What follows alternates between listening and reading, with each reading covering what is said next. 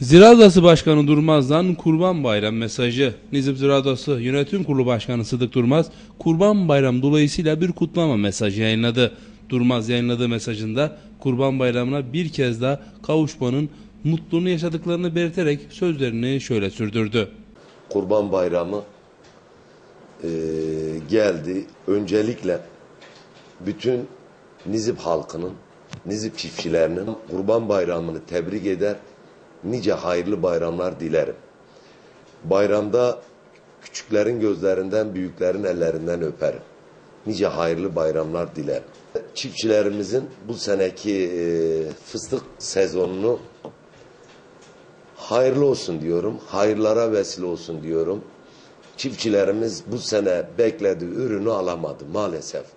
Ee, var yılı dedik ama maalesef kuraklıktan, e, sıcaktan bütün Antep fıstığındaki bu sene e, benge bırakan fıstıklarda yanma oldu. Şunu diyebilirim ki yüzde elli bir ürün kaybımız var. Çiftçilerimizin tümünün. Ne yapalım? Buna da şükür edeceğiz. Bu da Allah'tan geldi. Bunda da bir hayır vardır inşallah.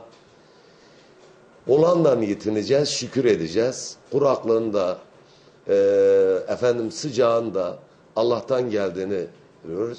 Allah'tan her gelen şeye başımızın üstünde saygı duyarız.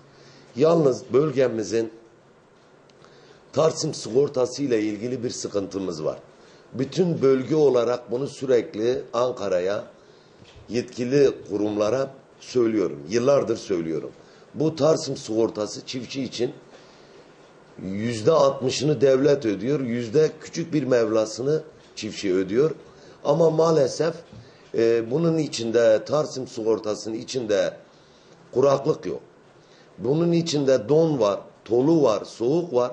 Maalesef bölgemiz sıcak olduğu için zaten fıstık en çok da sıcaktan etkilenen bir ürünümüz. İnşallah bunu yetkililere sesimizi yükselterek, duyurarak bu Tarsim sigortasına sıcaklığını da almasını talep ediyoruz. İrfan Bey. İnşallah bunu da Tarsim sigortasına sıcaklığı da eklersek çiftçinin bir sıkıntısı kalmayacak. Onun için sizin de Nerete'nin de tüm çiftçilerimizin de tüm Nizip halkının da tüm İslam aleminin de bayramını, kurban bayramını kutluyorum. Saygılarımı sunuyorum. Nice hayırlı bayramlar dilerim.